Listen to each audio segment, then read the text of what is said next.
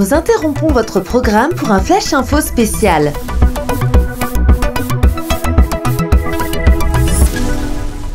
Le podcast La mémoire arrangée sera enregistré pour la première fois en public le samedi 26 novembre de 19h30 à minuit dans le bar culturel Le Blue Monkeys à Angers. Venez assister à l'épisode final de cette saison en compagnie de Mélectrique, Simon, Dan Bergen, Boris et d'autres invités prestigieux. Ne perdez pas une minute, il y a peu de places disponibles. Vous trouverez plus d'informations ainsi que la billetterie en ligne sur la page de la mémoire arrangée sur javras.fr.